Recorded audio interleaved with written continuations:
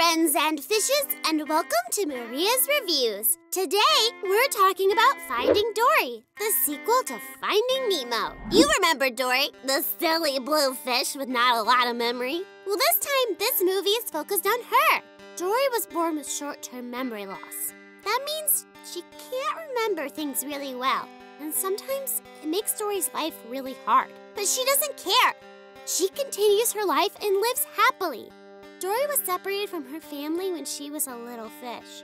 She forgot about them, but as she got older, she was looking for something and didn't know what. Suddenly, one day, she remembers that she has a family and that she has to find them. Family is the most important thing, and Dory wants to find hers. Even though she forgets things really easily, she doesn't let this stop her. If you believe in yourself, you can overcome anything. Even though Dory's looking for her family, she realizes that Marlin and Nemo are part of her family too. Your family is what you make it.